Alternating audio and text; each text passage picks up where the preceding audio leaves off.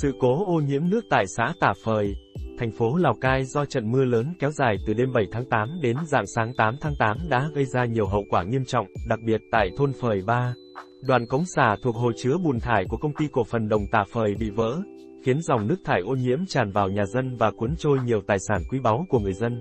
Hiện nay, sau 4 ngày sự cố, hàng chục hộ dân tại thôn Phời Ba vẫn đang gặp khó khăn khi không thể trở về nhà do bùn đất và nước thải ô nhiễm ngập lấp không gian bên trong nhà cũng như đường giao thông. Ngoài ra, cảnh tượng tăm tối và tan hoang lan ra các con đường của xã Tả Phời. Lớp bùn thải đen đặc đã bao trùm mọi ngóc ngách, tạo ra mùi hôi thối khó chịu, làm cho cuộc sống của người dân trở nên khó khăn hơn bao giờ hết. Đặc biệt, những hộ dân sinh sống gần nhà máy tuyển quạng đồng Tả Phời đã mất đi nhiều tài sản như tivi, tủ lạnh, xe máy và cả vật nuôi do dòng nước thải cuốn phăng. Sự cố này đã để lại hậu quả nghiêm trọng cho cảnh quang và cuộc sống của thôn Phời Ba.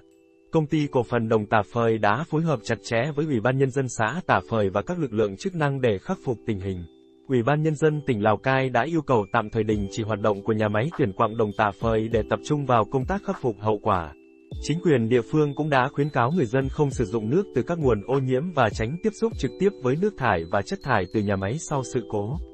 Trước tình hình khẩn cấp, công ty cổ phần Đồng Tả Phời cùng với Ủy ban Nhân dân xã Tả Phời và các tổ chức liên quan đã tiến hành di rời và hỗ trợ 12 hộ dân dọn dẹp bùn đất, đồ đạc, và di chuyển khẩn cấp 10 hộ, gồm 64 người, ra khỏi vùng nguy hiểm, nhằm đảm bảo an toàn cho cư dân trong tình hình nguy cấp này.